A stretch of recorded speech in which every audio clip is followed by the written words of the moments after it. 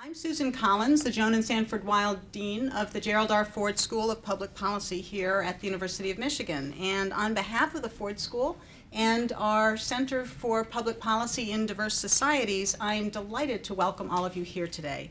Um, today is the Ford School's contribution to the Rackham Graduate School's centennial celebrations. And the Centennial Lecture Series was designed to showcase both the diversity and the extensive and really impressive quality of the intellectual legacy that the University of Michigan's graduates have had. There are over 60 graduate programs hosting a centennial lecture over this month. And again, we're delighted that you are joining us here today for this one. We are particularly pleased and really proud to have with us and to be able to introduce our Rackham Centennial speaker and to welcome him back to campus, Angel Harris. We're delighted to have you here with us.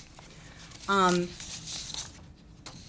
the Ford School launched its very innovative joint PhD program in 2001 and Angel was just our second graduate with that new program. His dissertation earned him a Rack Rackham Graduate School Distinguished Dissertation Award back in 2005, and he was the first of our PhD alums to come up for tenure, and he was the very first to get tenure. And I should mention that that tenure was offered at another University, a very fine Ivy League university. So in particular, Angel is Associate Professor of Sociology and African American Studies at Princeton University. And again, we are extremely proud of him. He is interested in how perceptions about the opportunity structure and the system of social mobility influence the extent to which people invest in schooling. His research focuses on the social psychological determinants of the racial achievement gap, and you'll hear a lot more about that today. His first book was entitled Kids Don't Want to Fail Oppositional Culture and the Black White Achievement Gap, and it was published by Harvard University Press in 2011. We are very proud of his accomplishments, and we eagerly look forward to seeing his work as it continues to take shape and to inform and advance our understanding of educational sociology. Um, I should note that in the program, we say that we will be collecting cards for the question and answer part of the session. In fact, we'll do it more informally, and after his formal remarks, um, Angel will invite questions from the floor, and uh, then we'll have a, a, kind of informal discussion period. And following the remarks, we hope that uh, in that session, we hope that uh, many of you will stay and join us for an informal reception as well. But I'll remind you of that later on. So please join me in welcoming Angel Harris. So I want to start off with a little narrative first to give you a sense of why I'm interested in, in what I'm interested in. Uh, so the problem that I study is the racial achievement gap. And so, uh, so I'll begin with um, a story that will you know, make it obvious as to why I study, I study this topic. So I'm from Brooklyn, New York. How many people from New York? Okay, so if you're from New York, uh, you'll realize that you, know, you, can, you can live in a certain area of of a borough in New York and really think that the world uh, ends outside of that space, right? And so I grew up in Brooklyn, downtown Brooklyn, and you have everything you need in downtown Brooklyn. Uh, you don't feel like you're missing anything. Uh, so that's where I grew up. And growing up, um, I was raised by my grandmother, who had an, an, eighth grade education, and my grandfather, who had a third grade education. So my mom passed away when I was five, and so she raised me and my sister. And growing up, you know, college wasn't something that we talked about, right? That wasn't something that was part of the story for us. So for her, she just wanted us to finish high school. That was her main goal. Uh, so when I was growing up, I didn't really know about um, colleges and universities. So, uh, and really, I never really ventured outside of Brooklyn. Uh, we didn't have a car, which is not uncommon in New York, right? It was the norm. We didn't, we didn't have a car. Uh, we lived in the, in the projects, in the low-income housing. Uh, for those of you who, I don't know if you've seen the projects in New York, it's like uh, you've seen The Wire, the show The Wire on HBO. Okay, that kind of scene. Mm-hmm. Um, so that was, that was the scene. And the, the first time I ventured outside of Brooklyn was when I went to high school. I went to a high school called Manhattan Center for Science and Math, where I proceeded to fail both science and math. and it's, it's on the east side of New York, so it's 116th Street and FDR Drive. And so I would take the 6th train to 116th Street and walk uh, to, to, to, the uh, FDR Drive. and uh, I did not venture to the west side of Manhattan, so I didn't know what was there. Uh, never went to the Bronx. Uh, didn't know what was in Queens either. Uh, no one knows what's, what's in Staten Island, so that's that's cool, you know. So I just knew downtown Brooklyn. That was what I knew. That was my world, and then the six train. Uh, and when when I graduated from high school, in a class of 242 students, my class rank was 217. So that's the 10 percentile. Uh, so thinking back, I would say, you know, the counselors and the, the, the, guidance counselors in my high school were not concerned with the students. But now I realize, no, no, they probably weren't focused on the 10 percentile, the students down there, right? So, um, but that was my experience. And so I did not know about colleges and universities. I knew about uh, Brooklyn College because we lived in Brooklyn. I knew about LIU, Long Island University, because they have a campus downtown Brooklyn. Um, but I, and I knew about NYU because Theo Huxtable went to NYU, right? Uh, but Columbia was a country. Uh, and I didn't know about like Rutgers or Arizona State or University of Michigan. I would have found it strange that you're putting the name of a university and the name of a state together. Mm-hmm. I didn't know that. Uh, I wasn't a college sports fan, so I wouldn't have known that. Um, so college just wasn't on the radar. And so instead, I was looking into um, trade school to be mortician. I wanted to be a, um, I wanted to be a mortician. Really, I wanted to be an embalmer, and so I would, I would go to a funeral home, hang around in the back, and there was a funeral home that was nice enough to let me uh, go and watch them embalm people, and that's what I wanted to do. I thought it was something respectable, and you tell people you're an embalmer, and people say, oh, okay, you know, it doesn't matter what's happening with the economy, you know, you always have a steady stream of business. and so that was what I wanted to do. Um, so I was looking into this. Uh, and I had a friend in high school who had uh, twin aunts, Danette and Darlene, and they had completed their undergraduate work at Cornell. And they said, you know, you should go to college, get the experience, try it out, see if you like it. Uh, so they gave me four applications to complete. One was uh, Grambling State, uh, Morgan State, uh, Hampton, and Lincoln in Pennsylvania. So these are all historically black colleges and universities. Now, I had no idea, you know, I didn't know about any colleges outside of Brooklyn, let alone HBCUs. I didn't know what they were. Um, but I applied. I applied to these schools. And Grambling was the only school to accept me. And they accepted me uh, as a, like on, on, a conditional basis. Uh, first semester was kind of, uh, you know, probationary student type.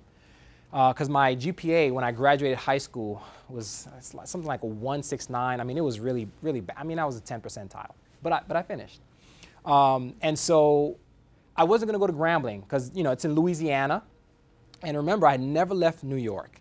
Uh, in fact, the furthest I'd been in a car was to Newark International Airport, which back then seemed like a long drive because you generate, you know, you, you generate some speed in the car where you're going past 55 miles an hour.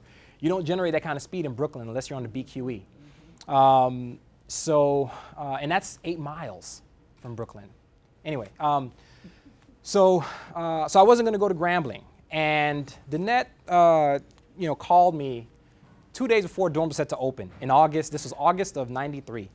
And she says, do you want to go to college or not? And I said, I don't know how I'm going to pay for it because I thought at the time that you had to pay all of the money up front because you know, growing up, we never financed anything. We didn't own a car. We paid for everything cash or food stamps, right? So there's no such thing as like the concept of borrowing or loans didn't exist for me.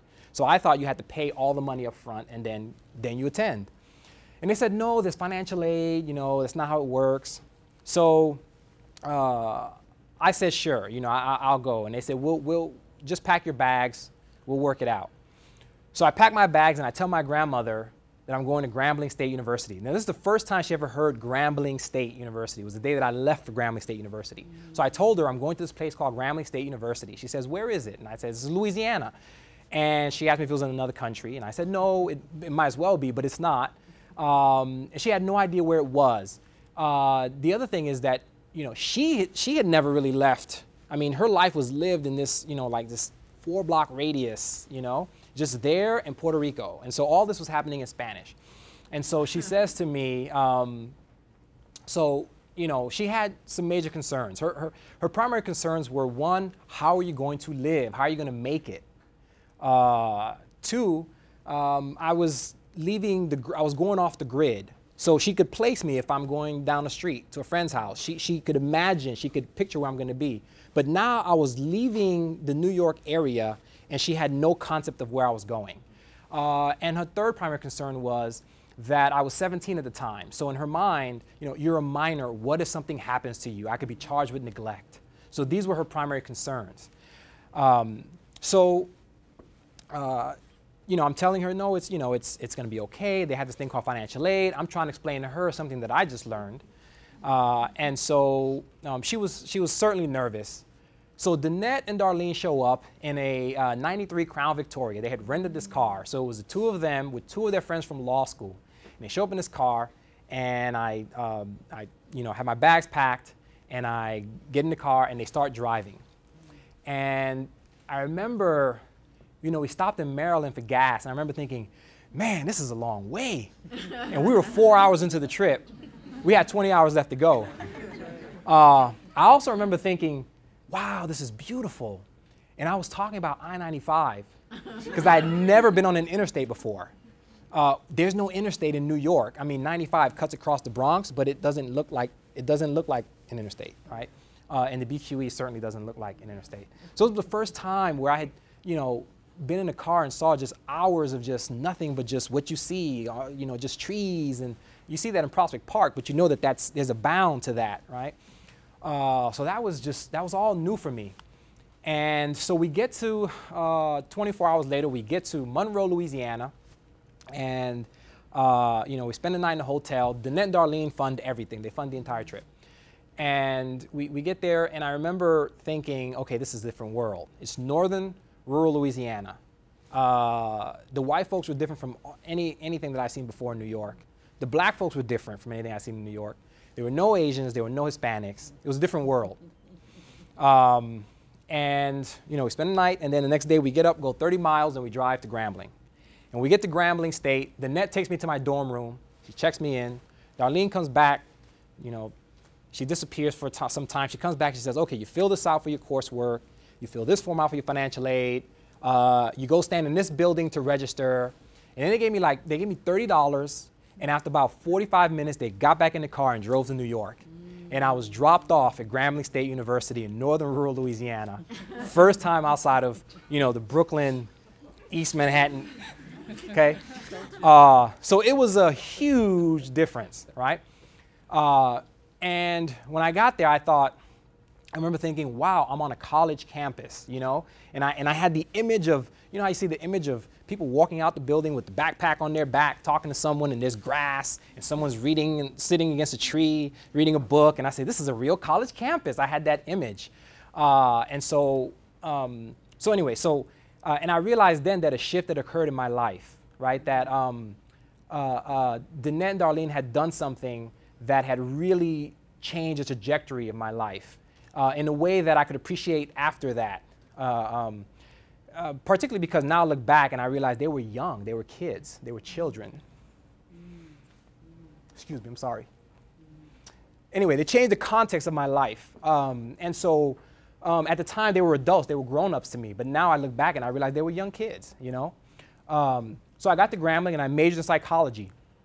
And I majored in psychology because I thought you could read people's minds. and so that's why I wanted to major in psych. I've since realized that that's not the case. Uh, and I graduated Grambling with a uh, 3.34. It was a you know modest GPA. And uh, one of the things that changed was a professor there, uh, my first psychology class. He gave an example where he said, if, if, if a child's misbehaving, you can tell people, look, Johnny's misbehaving, or you can say, in the past hour, Johnny has kicked three kids, slapped four, and punched five. And then you can let them determine whether or not that's misbehavior and how much misbehavior that is. So he essentially operationalized misbehavior for me. And after that, to change the way I took in knowledge. Uh, it was like every time someone talked to me, I went through this bad stage where I would always say, you know, so and so is nice. What do you mean? What do you mean by nice? I wanted them to operationalize what nice meant, right? Tell me what nice is. What's the definition so I can determine how much niceness there is, right? Um, and it changed. It changed my connection to information and how I filtered information. Completely changed it. Uh, so after that, I, I, graduated with a BA in psychology. I applied to uh, graduate school, and Kansas State University was the only school to accept me. So I went to Kansas State University for a master's in college student personnel work. The stigma of that was weighing on me. So I walked over to the social department before the semester started and I transferred over to sociology. Uh, and I received a master's in sociology and I applied to a PhD program in sociology and Michigan was the only place to accept me. So I always tell people you only need one school, that's all. Um, so when I come visit, you know, the grad students are saying, uh, what other places are you considering? And people say, oh, I'm Berkeley, Stanford, Harvard. And for me, it was like, well, my mind's made up, I'm coming to Michigan, you know. Uh, and so I um, ended up coming to Michigan for a PhD in sociology uh, in 99, and then the policy program uh, begins in 01, the joint degree program, and so I uh, was the first cohort in that, and I finished that program in 2005. And when I finished uh, that program, I ended up having a reversal of fortunes. Um, I won the Distinguished Dissertation Award. Um, I took a postdoc, and UT Austin recruited me out of the postdoc, and so I spent a year on the faculty at University of Texas at Austin. And in my first year there, I was recruited by Princeton and NYU, and I ended up going to Princeton. Uh, four years later, I got tenure at Princeton. And so, so that brings us to today. So the moral of that story is that I was kid number 217 in my graduating class in high school, right? And so, you know, I, I tell this, I share this narrative, particularly with teachers, because I want them to know that the kid you're looking at, you never know what's possible right? So we have to be able to distinguish probability from possibility. Uh, so with that, I'll sort of go into um, what, what, what I study. I study the racial achievement gap. At one time, I was contributing to that gap on the negative end, right? I was pulling the mean down for members of my group. Um, and so what does the gap look like? So I'm just going to present some background information on the achievement gap. So here I'm showing you the different the achievement in reading, math, U.S. history, and geography, and this is based on NAEP data from the National Assessment of Educational Progress, the NAEP. So this is nationally representative data. And all these bars correspond to 12th graders. And so what you're seeing is that white 12th graders are closer to being proficient than black and Hispanic 12th graders. And all the tests are scaled so that 300 is considered proficient. So what you're seeing is that it's a, it's a, it's a pretty substantial gap, right? So these are whites, these are blacks, these are Hispanics. Now, I'm going to put up a dashed line.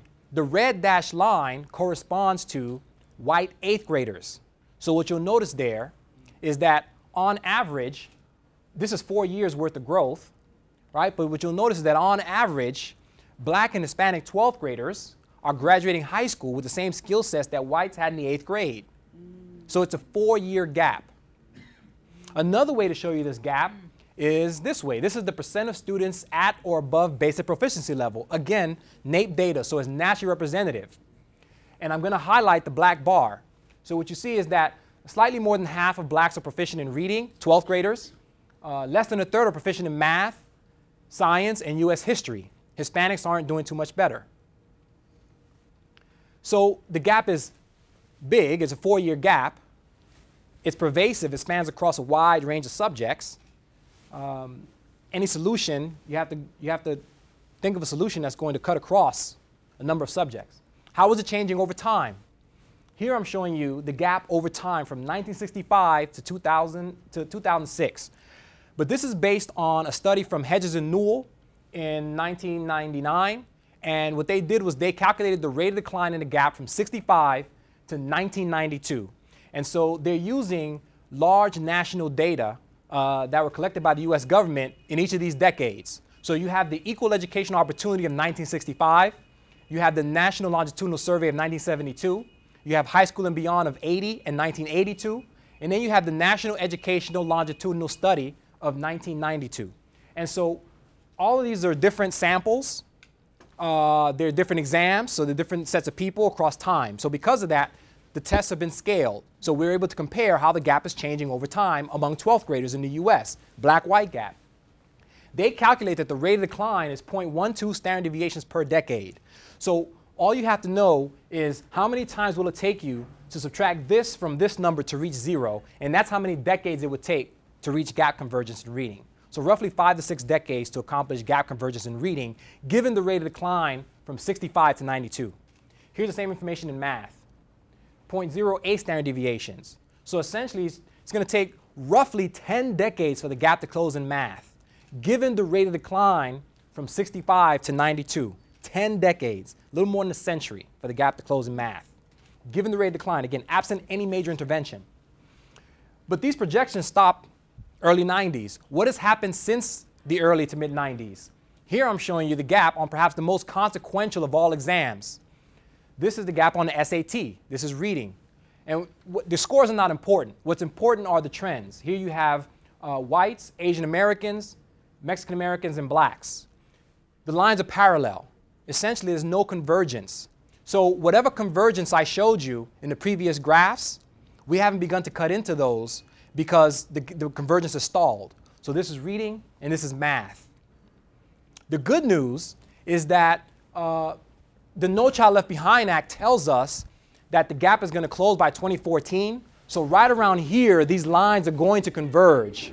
Um, you know, they just, they just haven't unfolded the plan yet, but it's coming because that's the goal of the act. Um, but what that shows you is that there's a, there's a, perhaps there's a large disconnect between the goals that, that, that politicians may set uh, and the data right? Given these data, there's no way you could expect the gap to close by 2014, um, absent any major intervention.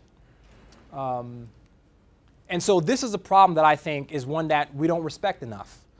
Uh, this is, as I showed you from the, from the, from the, from the trends, you can see that it's going to take six decades to for, for the gap to close in reading and roughly 10 in math. Even if you don't believe that, even if you cut that in half, the point is that it's ridiculous to think that it's going to close within the next four years of anybody's political term right? We would never walk into an oncologist's office and say, You've been working on cancer for all these years, millions of dollars in research, give us the cure by next week. We would never do that because we respect that problem. This is a problem similar to that one in, in, in, in the sense of you know, how long it's going to take for convergence to be achieved. The gap also extends beyond testing. So this is the gap in terms of uh, GPA. So this is uh, GPA for whites in 2001 and 2011 national, again, national data set. This is uh, SAT test takers. Uh, this is for Asians. That's the gap. That's, I'm sorry, that's the achievement. That's the GPA in 01 and 2011. For Hispanics and blacks. So this is the average GPA right here.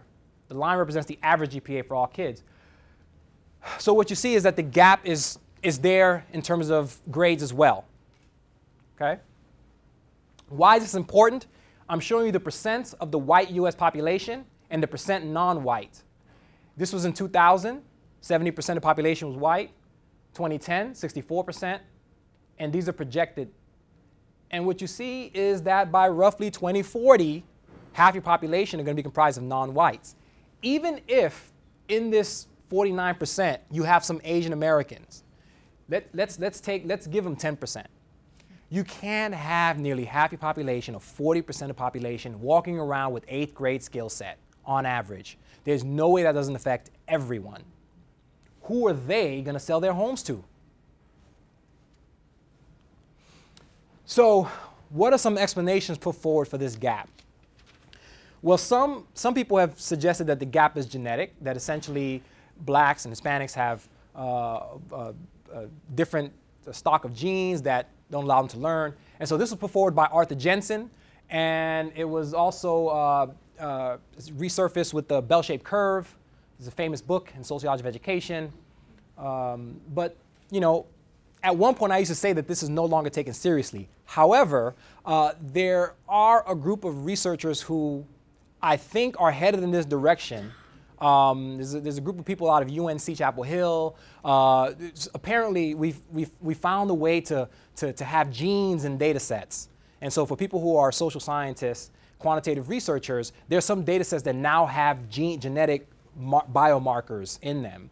Uh, where they code people's you know, gene whatever, zero, one, or two, and they have a thousand genes, particularly in Add Health, they have a thousand genes. And so now what happens is that you have some social scientists playing geneticists, and now they're trying to use this to predict certain social behaviors. Um, and you know, it's only a matter of time before they get to the part where they say, "Oh, there it is. We found the gene to explain intelligence."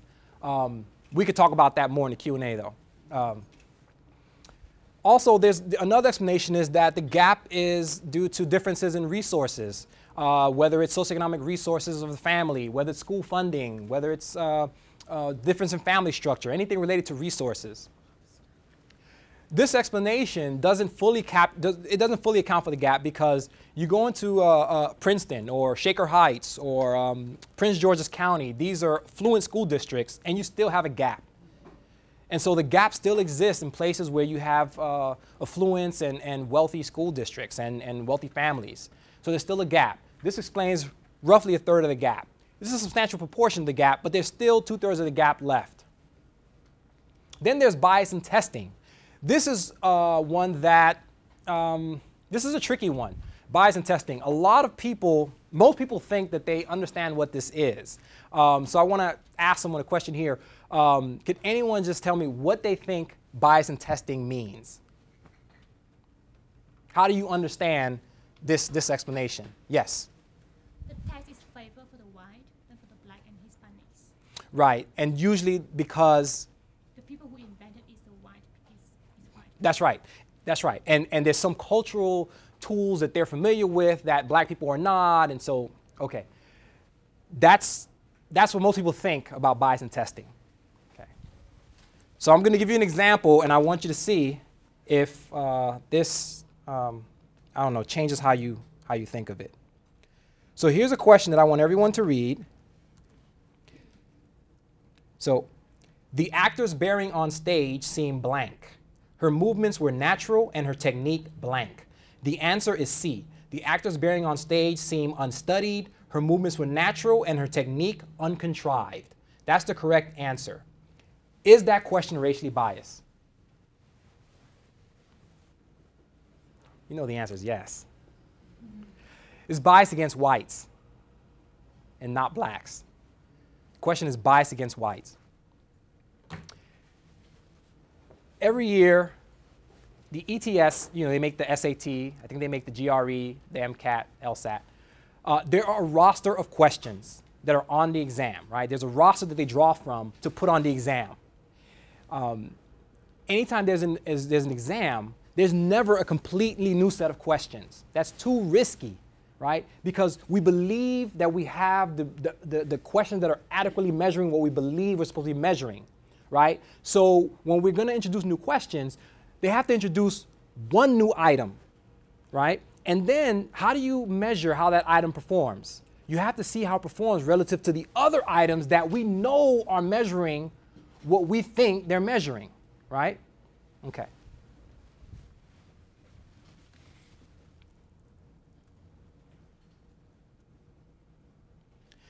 Each individual SAT question ETS chooses is required to parallel the outcomes of the test overall. So if high scoring test takers who are more likely to be white tend to answer the question correctly in pre-testing, it's a worthy SAT question. If not, it's thrown out.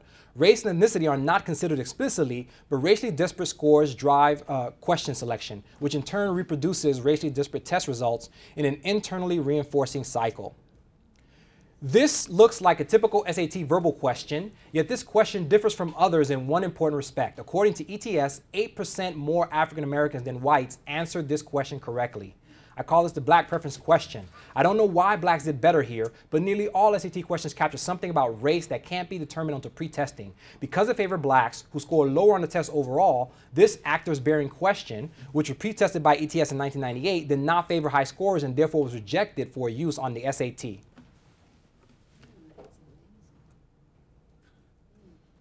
If we if we come up with an exam and um, if we come up with an exam and everyone in here takes the exam and we identify all the questions for which females scored higher than males, for which a greater percentage of females got the question correct than males, and we only selected those questions, you're going to have a gender gap. And over time, it will look like this. And this makes sense to me. Makes total sense after you understand the notion of a new question has to be highly correlated with the rest of the exam. That's the racial bias. Uh, so it's not necessarily that the question has some cultural question that blacks aren't exposed to, but it's that there are some math questions that, for whatever reason, black people get correct at a higher rate than white people. Hispanics get correct. And because it doesn't correlate with the rest of the exam, it's, it's thrown away. So, you know, this, this changes how we think about meritocracy. The test scores are right, and affirmative action, get the high test score. Um, uh, this, you know, if, if, if the scores only, if, if, if the questions that make it are the ones that I, my group sees, then I like the system. I want to I wanna keep that. Okay, so should make you think, huh? Um, then another explanation is cultural deficiency. The fact that the gap has been around for so long, um, this makes people think that, well, it must be that blacks don't want to learn, right? That blacks themselves are uh, resistant to uh, educational goals. And so that's what I study. That's what my area of research is. Uh, so in the past decade, this theory has moved from the academy into the mainstream press. So for example, you have Thomas Sowell, who wrote that the most painful, most painful new developments has been a growth of an attitude in ghetto schools across the country that trying to learn is acting white. Then you have Brent Staples of the New York Times, who wrote some education experts demean the gifted programs as elitist and unfair. Even rival students get into the act, harassing the achievers for acting white. You have Bob Herbert of the New York Times, who wrote, some African Americans, unable to extricate themselves from the quicksand of self defeat, have adopted the incredibly stupid tactic of harassing fellow blacks who have the temerity to take their studies seriously. According to the poisonous logic of harassers, any attempt at acquiring knowledge is a form of acting white. And then you have President Obama, who said, Go into any inner city neighborhood, and folks will tell you that government alone can't teach our kids to learn. They know that parents have to teach, that children can't achieve unless we raise their expectations and turn off the television sets and eradicate the slander that says a black youth with a book is acting white. They know those things. So this is a really, really popular narrative that exists um, that black students uh, and Latinos resist educational goals. And so that's, that's what I work on. And so I'm not going to go into the X's and O's, football term. I'm not going to go into the nuts and bolts of the research and, and the findings. Um, and I'll cover some of that on, uh, on talk on Monday. Uh, but today I just want to sort of just introduce uh, the topic and also uh, give you a sense of what I find. Um, and so um, the theory basically says that the reason why you have this achievement gap is you have to understand how groups are incorporated into a society. And so you have a dominant group, but then you also have groups that are involuntary, that are voluntary minorities. These are groups who willingly come to the host country in search of better opportunities. So because of that, they see education as a way of getting ahead. And any obstacles they experience, they say, oh, this is because of the language, we're different, we'll overcome these obstacles. But then you have involuntary minorities. These are groups who are incorporated via colonization, conquering, or slavery. And so because of this, they have a long-term history of being discriminated against by the dominant group. Uh, they don't receive the same rewards as a dominant group for their educational credentials. Just think blacks, pre-civil rights movement. So as a result, why invest in a system that's not going to reward you to the same degree as a dominant group? So if you do, in fact, you're acting like the dominant group, i.e., you're acting white. And so instead, what Ogbu suggests, is, uh, who, who wrote this framework and came up with this framework in, within the literature of education, what he suggests is that blacks invest, they, they instead invest their efforts in things that are going to find rewarding, such as physical or verbal dueling. Um, I think he means sports and hip hop, um, but that's, that's, I don't know. So this is the achievement gap here. This is, so I'm showing you how I visually represent this. This is the achievement gap. So the groups differ on achievement uh, and the groups meaning uh, uh, voluntary and involuntary, or you can have Asian Americans, whites, blacks. The groups differ on achievement, and the reason why they differ on achievement is because they have different academic orientation. Academic orientation meaning anything, your, your, your attitude, your disposition toward education, uh, your, your approach, your behavior toward education. Uh, and so because some groups have worse academic orientation than others, uh, they have lower achievement. And now, why do groups differ on academic orientation? Well, the reason why they differ is because they have different experiences with the opportunity structure, right? So young blacks are not bewitched by the rhetoric of equal opportunity. They hear another side of the story at the dinner table. And so as such, because you hear your parents and friends talk about uh, their experiences in the opportunity structure, that has implications for how youth themselves perceive opportunities, which in turn has implications for their investment in academics. So this is the framework. And so in the book that I, uh, uh, in, in my first book, Kids Don't Want to Fail, uh, this was the model that I was testing throughout the book. And so this is not intended to be a path diagram. Instead, it's a, it's a theoretical framework, and each path, uh, uh, each chapter tested a path. So each path was a chapter, essentially. So the book goes path by path, testing each link to see where the theory breaks down. Um, and I find that the theory does break down. And so, again, I'm skipping a lot of the technical stuff, but uh, in one study, I compared blacks and whites on a series of measures Uh, and by the wording of the measure, you can predict whether or not blacks should be higher or lower. So blacks should, should uh, have lower educational aspirations. They should like school less. They should seek help when having trouble in class less. They should do these things more. Um, and what I found is everything in blue goes against the framework, and everything in red goes in the direction of the framework. So if this is your theory, only two out of 24 outcomes go in the direction your theory predicts. You have to be incredibly unlucky for the findings to come out this way. Um, and so I'm moving ahead here. What some propon uh, proponents of the theory say is that you can't believe what blacks say on surveys because they're always going to say what the dominant ideology is. They're going to say, oh, yeah, we love education. Education is good. Uh, so it reflects wishful thinking. They don't match their aspirations with effort. If they really believed education was important, they would try harder and, and have higher grades. Uh, and so this was termed the attitude achievement paradox, that blacks consistently express greater reverence toward education than whites. Uh, but the issue is not straightforward because despite the fact that blacks have this antagonistic view towards getting ahead, it's those who have succeeded academically, those are the ones that have the, the, the, the worst views about what education can do. Those are the ones who are hitting their head against a glass ceiling, but they've already invested.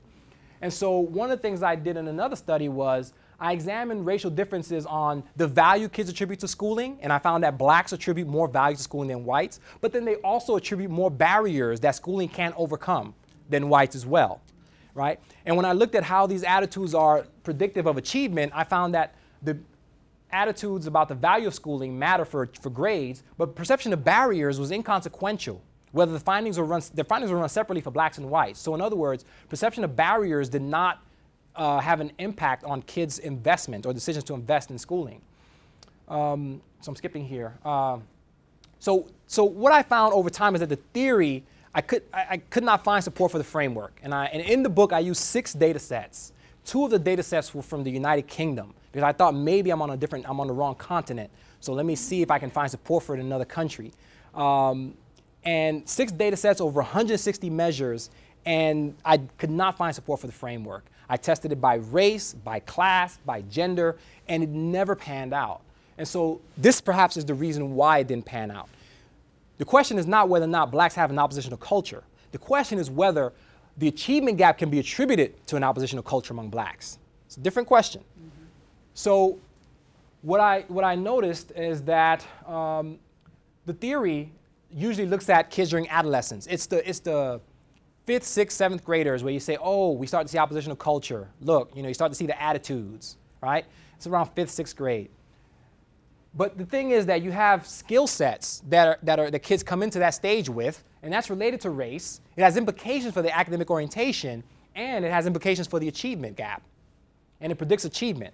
So basically what I'm saying is that learning is a longitudinal thing. You can't jump to high school or adolescence and say, oh, look, oppositional culture, there it is. That's why they're failing. There's something that happens before that stage in life. Uh, Tyson indicates that achievement is central in the development of academic behaviors early in the schooling process to the extent that oppositional behaviors are influenced by prior academic skills. The failure to account for prior skills leads to the effects of behaviors to be over, overestimated. Um, and so oppositional culture cannot adequately explain racial difference in achievement if it's not adapted to account for how learning is intertwined with, with development. And so this is the last thing I'll show you here. This is the achievement gap, NELS, National, nationally representative data. So this is the achievement gap for blacks and Asians relative to whites. So what I'm showing you is, is that if the average for whites is 20 and for Asians is 22, I'm showing you the plus 2. Okay, so that's the plus 2 and this is the minus 8. And this is after accounting for background factors. That's the gap. What does the gap look like in 12th grade? What would the gap look like if the kids behave similarly during high school? Like that. 13% of the gap. So schooling behaviors explain 13% of the black-white gap. What would the gap look like if they came into high school with the same skill set? 70% of the gap. So if you ask me, would you prefer for blacks to behave the same way as whites during high school or to come into high school with the same skill set? I would opt for the same skill set. Fall of kindergarten. This is whites. So again, this, whites aren't, they don't average a zero. Let's say they average a 20. I'm just showing you the plus and the minus. So this is white achievement. Asian Americans, blacks. Fall of kindergarten. Reading. What happens when you control for social class? This is based on research from Fryer and Levitt. So it's not something that I conducted. I simply plotted their, I just created a graph of their findings. Uh, when, you could, when they control for social class, this is the gap in the fall of kindergarten. Asians, blacks, whites. What this means is that when you compare children who are similarly situated with regard to social class, there's a gap with whites being toward the bottom.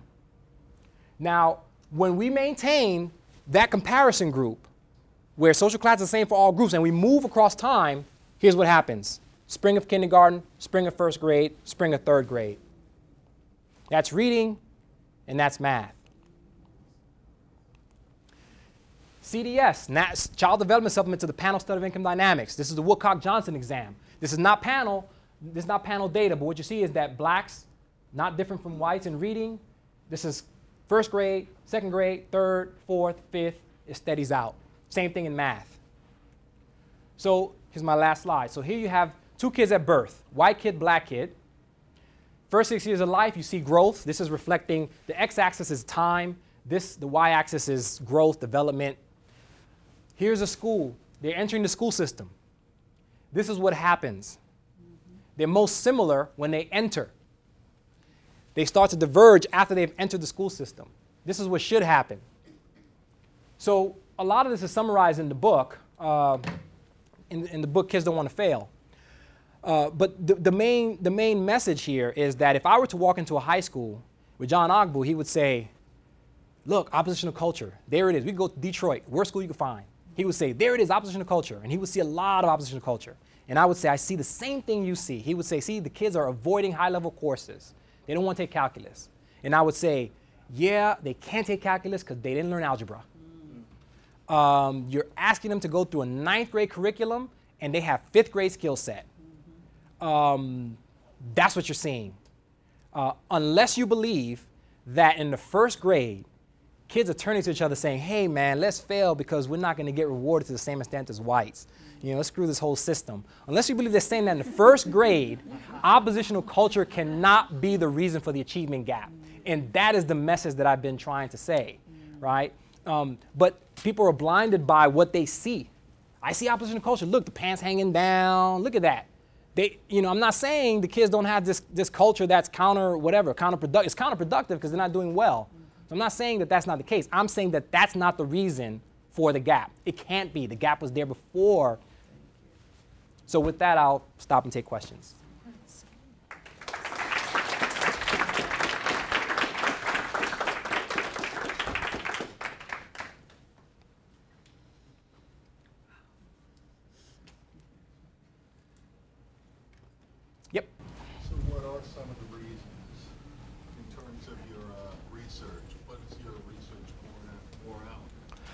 So the question, so, so what are some of the reasons for the gap? Uh, what are some of the things that my research point out? Um, so at this point, I think that the problem is really complicated. And so I have not, I have not even begun to go into why, what, what are the causes of the gap, right? Um, I spent the last five, six years saying, look, this is a distraction. It's not this. Um, it's not this. So this is related to this cultural deficiency narrative that exists, right? And so this is this is my first book. My second book is on parental involvement, and um, you know, the reason why we have a gap. Here's a, here's a narrative. Uh, no Child Left Behind suggests that in order to close the gap, we have to get more parents involved. That's one of the six goals. One of the six major features of the of that act is to involve parents. What so let's, let's carry that through. Do you have a gap? Black kids are at the bottom. One of the ways to close it is to involve parents. That means that the parents of these kids are going to be involved in a way that bring up their achievement or that the reason why you have this gap is because they're not involved. Right? So that's part is getting at this narrative. The title of the book is The Broken Compass is Social Policy on Parental Involvement Misguided? The answer is yes right? Um, the answer is yes. In essence, what I find in that book is that I have, I use four data sets um, from K-12 and over 60 measures of parental involvement. Some examples are help your kid with homework, read to the child, have a rule about GPA, have a rule about homework, talk to the child about high school. Those are things you can do at home. Have a set of measures about school. Uh, are you a PTO member? You know, how often do you talk to the teacher? You know, parent-teacher conference, bunch of measures. So if you put these 63 measures, if you line them up, and let's pretend that they're policy buttons that you can push, right? Um, the parental involvement movement would say, push all of them, right? Just be involved in your kids' lives. Just, just be involved, push all of them.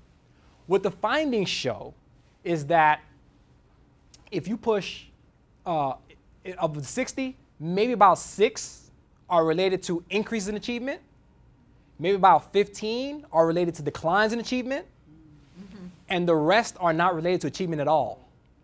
And these findings are run separately for each racial group. So I run them just for white kids, then just for blacks, then just for Mexican Americans, then just for non Hispanic Mexicans, I'm sorry, non Mexican Hispanics, then for two groups of Asian Americans. Uh, model minority Asians, you know, the, the Chinese, Japanese, and then the Southeast Asians, the, the sort of more disadvantaged group. Run it separately for each group, and you find a different set matter for each group. You know, for whites, it might be this one, this one, and that one, and for blacks, it might be this one, that one, and this one. There is no one size fits all set of things that just do this and is going to work for all kids. Why do we think that? That's insane. Well, to me, it looks, it sounds insane.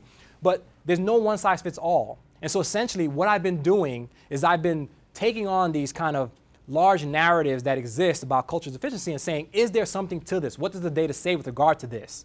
And so I'm spending a lot of my time uh, taking the big distractions off the table and saying, let's move this aside and let's have a real fruitful discussion. So I haven't gotten to that part yet. Long answer, but it's coming. Yeah. So for those of us who uh, don't study education policy, what can you tell us about, uh, I guess, what could be termed the expectation gap? So I would assume that folks receive different sorts of teaching and, and training based on what a teacher expects of them. So there's an expectation that a black student would perform at a level that's Yep. different than a white student, and so they would get a different sort of teaching based on these distractions that are on the table. What do we know about that? Yeah, I think that that's getting toward uh, what the problem is. It's getting toward that. Um, so, if I hear your question correctly uh, about the expectations gap that teachers may hold for kids, um, so I actually knew you were going to ask that question. So here, here- here's for you. Um, You did study psychology. I read your mind. Uh, numerous studies show that teachers' perceptions of academic success is not independent of cultural considerations, right? So, as disadvantaged minority groups, uh, disadvantaged minority groups are perceived as outsiders to the academic setting. Okay, so many studies show this, particularly qualitative qualitative studies. So, there's some studies show, that show that teachers favor whites and Asian cultural ethos versus uh, other groups. Um, and so teacher expectations favor white and Asian students over black and Latino students with comparable academic records. So that's, that's uh, this is, um, comes from uh, world psychology. There are also studies that show that elementary school teachers rate students' motivation and achievement who behaviorally manifest a European or mainstream cultural ethos as greater relative to those with an Afro-cultural ethos. This one is perhaps my favorite. So, so for this study, let's take, uh, so I'm gonna just describe the study. So you have a white kid and a black kid, and you tell them, hey, today, uh, y'all are gonna be white for the day, and we're gonna video record you being white for the day. Y'all know what that means, right? Be, you know, I mean, come on. You know what I'm saying? Like walking, hey, Bob, you know, being white for the day. You know what I'm talking about. Come on now, y'all seen uh, Chris Rock and you know, you know the routines, you know. They, they were white for the day, you know, walked around straight, you know, everything, pants were right, you know. Um, and they were white for the day and they were video recorded. And then the next day they say, y'all gonna be black for the day. What does that mean? They had swagger, you know, they were cool, you know, they were chill, you know, pants were, you know, comfortable. They were comfortable. And that film was shown to teachers, and the teachers were asked to rate the kids on uh, um, problem behaviors, uh, the need for special education, and for achievement. The Black for a Day were worse on all three, just based on the video. These are, cap- these are capturing, these are studies that capture the unconscious biases that teachers bring into the classroom with them, right? And so now take this down to first and second graders. And these teachers coming into the classroom with this, they're not. I'm not saying they're racist. It's racist, but you, you can have race. You can have racism without racist. This is a book by Eduardo Bonilla Silva, um, and so they're coming into the classroom with this, and that could be driving some of this, right? That could be driving some of this, and so I think that that's in the direction of of, of what the problem could be. Yep. I was uh, curious to find out how much uh, legitimacy you put behind theories that say uh, parental education and household income are, are, the best predictors of success. So, uh, uh, how much how much weight do I give to theories that suggest that uh, uh parents' background, parent parental education, is the best predictor of success, right? Yeah, and, and, and whether SES is a predictor of success. It is a predictor of success. It is. Um, and it does. Um, I think that that's, if parental involvement works, uh, it's because of those factors and not because I'm talking to the teacher, I'm sitting down reading to you, I'm doing this with you. It's not because of all these little things that parents do. That's not what's really driving it. So here's, so here's, the, uh, so here's, the, here's the idea. Um, if you spend 10 seconds walking, walking through the home of someone who is in the worst area you can find, just, just the hood, go to the hood and uh, uh, walk to someone's home and where they have lack of resources, 10 seconds. And then you walk through um, the home of an affluent, you know, business person or, or, or dean of, of, of, of a college, 10 seconds. You say, okay, if we're going to insert two kids in both of these spaces without the parents even saying a word to the kid, in which space do you think learning is more conducive? Right? So, so it's, it's you know, you walk home, you pass the home office, um, you get in the car, NPR is playing, uh, the average level of education of your parents' friends are above the national mean. Um, uh, you hear them verbally jousting. On what basis? What do you mean? You know, uh, and you, you, you're not even in the room. You, it's, it's, it's, you pick osmosis. It's, you're picking it up through osmosis somewhere. You're getting it somewhere. Um, and so that parent will say, oh, I, my kid is doing well, and they could take credit for being involved, right? But they're living a lifestyle. Whether they had a kid or not, they'd be living that lifestyle, and that lifestyle is conducive to education. So this is why children of preachers know the word more than other ch- children of non-preachers children of academics do better academically. It ain't because academics are more involved, right? Um, they're getting credit for something. They're accessing something that's class related that they're getting credit for, and they're attributing it to, oh, it's, it's, um, it's my superior involvement. And, and my argument is that that's not really what's driving it, because if it were, it would show up empirically. The fact that it's not showing up empirically, but you do see this relationship between education, parents' education, and child's achievement suggests that the mechanism is not these measures of parental involvement. Yep.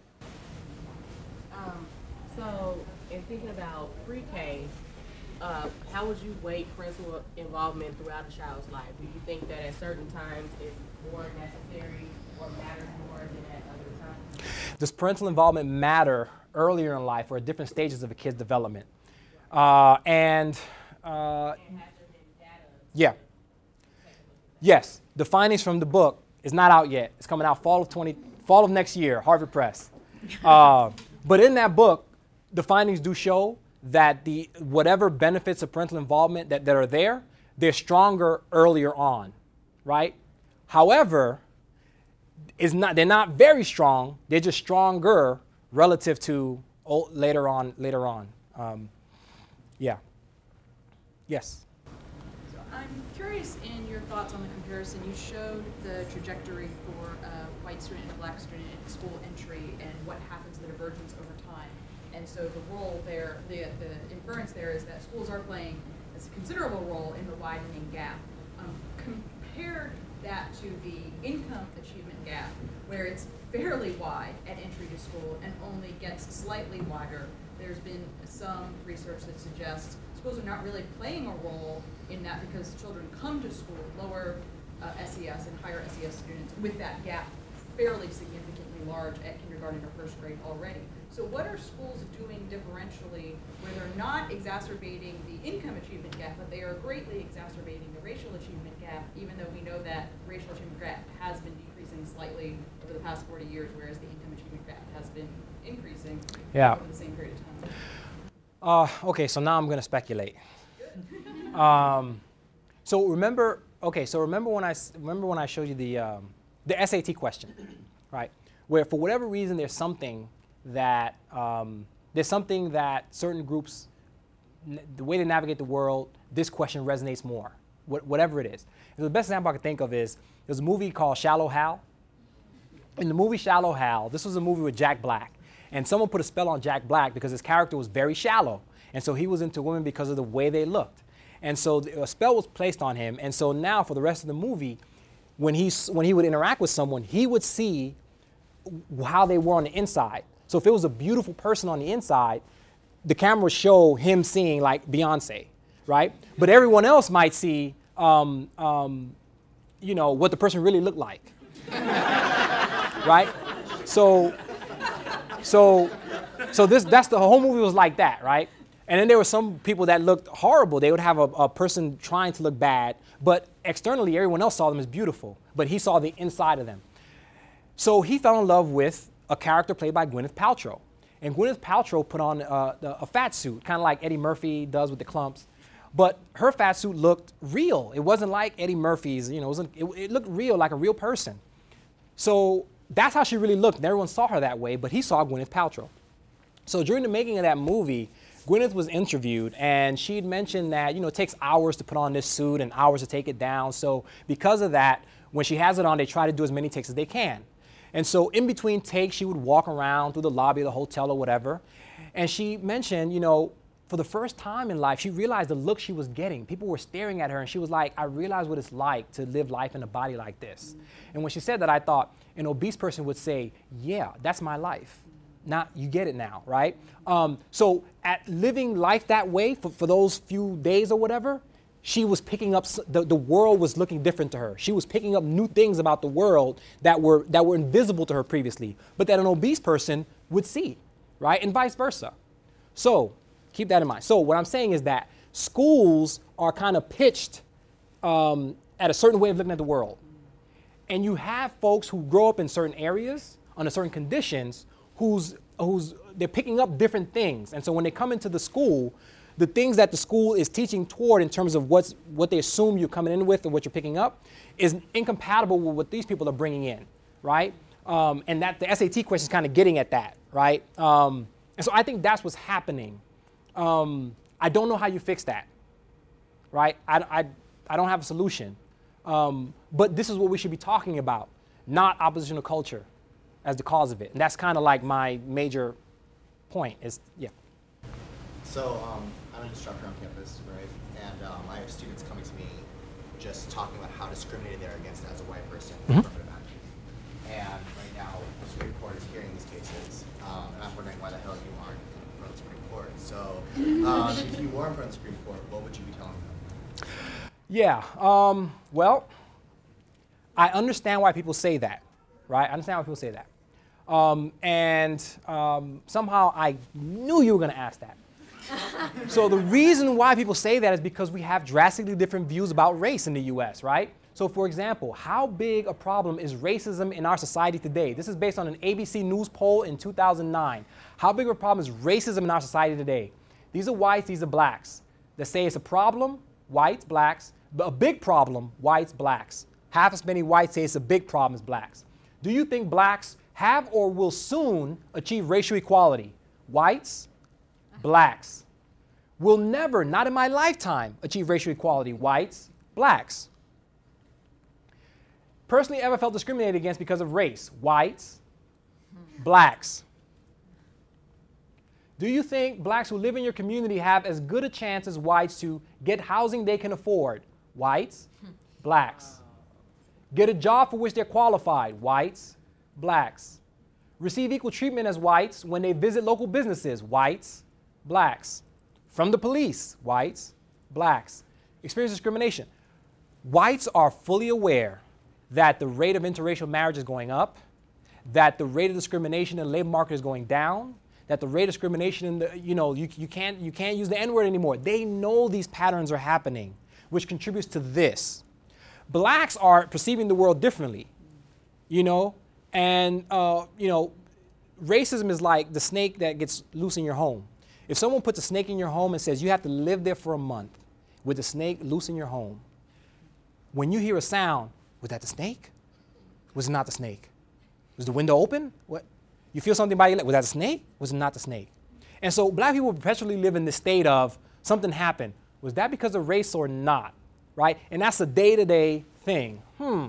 Uh, and so you have these different experiences, these different realities. And so it makes sense that white students say, I'm being discriminated against because of racism. Because, because um, this ra- the, blacks are no longer, they, they're no barriers anymore.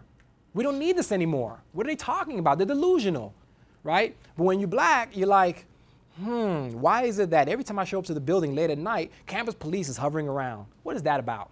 You, you see what I'm saying? Um, so I think what's happening is that in this country, uh, this is, uh, black descriptions of their encounters with prejudiced authorities are often disbelieved because many listeners, particularly whites, are aware that the proportion of people who hold prejudicial beliefs is declining. This triggers the cycle of many blacks doubting the integrity and commitment to justice of their white disbelievers and of many white doubting, doubt, whites doubting the integrity and even sanity of individuals whose descriptions of events invokes racism or discrimination. This is an asymmetry of experience which erects a difficult to scale wall of, of misunderstanding between communities. And so in this country, we are not really talking about race in a serious way. Um, and so this is the last thing I'll show you. So here in the segregated black school, there's an internal dialogue.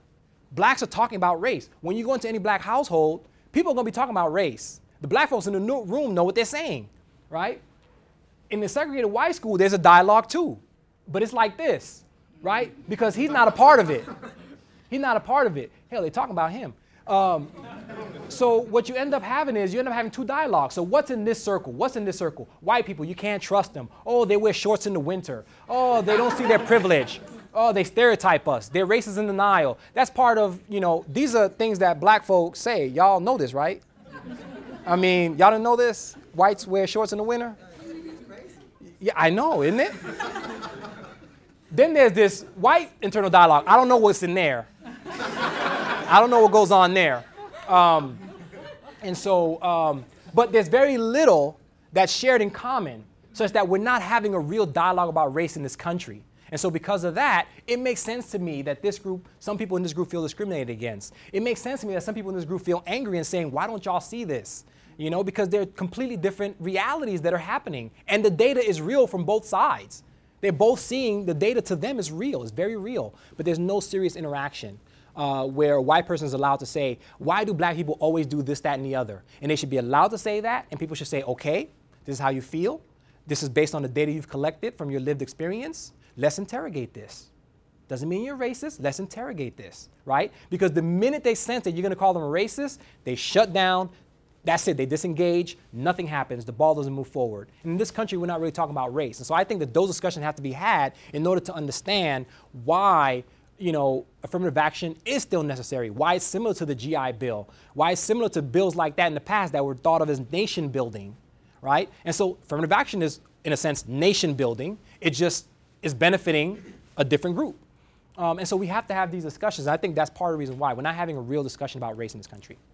So unfortunately, this is the last question. Okay, last question. Uh, I have two questions, actually. uh, uh, I'll, I'll pay attention to your presentation. You didn't say that the racial deficiency gap determined academic success later in life. So what steps can be done to ensure that one who is behind in high school can still achieve in college and in, a professional career? Yep. And how would you say that going to attending Grambling State or HBCU may or may not have benefited you as opposed to attending a PWC, for instance, the University of Michigan for undergrad?